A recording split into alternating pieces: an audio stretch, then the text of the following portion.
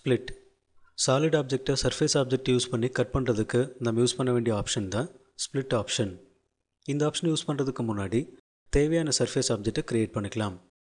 Sketch ஆப்ஷனுடைய ஐக்கனை pick பண்ணிவிட்டு சூட்டபிளான பிளேனை ஒர்க்கிங் பிளேனாக செலக்ட் பண்ணிக்கலாம்.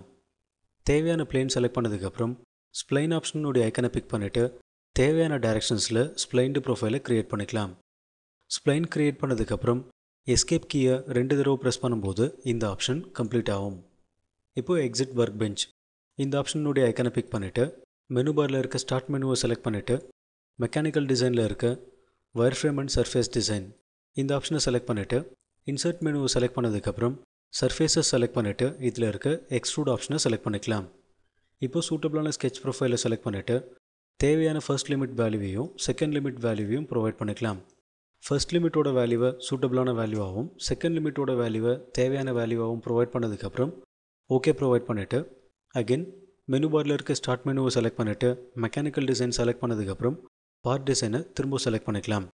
இப்போ ஸ்ப்ளிட் ஆப்ஷனுடைய ஐக்கனை பிக் பண்ணிவிட்டு ஸ்ப்ளிட்டிங் எலிமெண்ட் கேட்கும்போது இந்த சர்ஃபேஸ் ஆப்ஜெக்டை செலக்ட் பண்ணிக்கலாம். எந்த சைடில் நம்ம மெட்டீரியலை ரீட்டைன் பண்ண போகிறோமோ அந்த சைடில் இந்த ஏரோவை நம்ம ஃப்ளிப் பண்ணிக்கலாம்.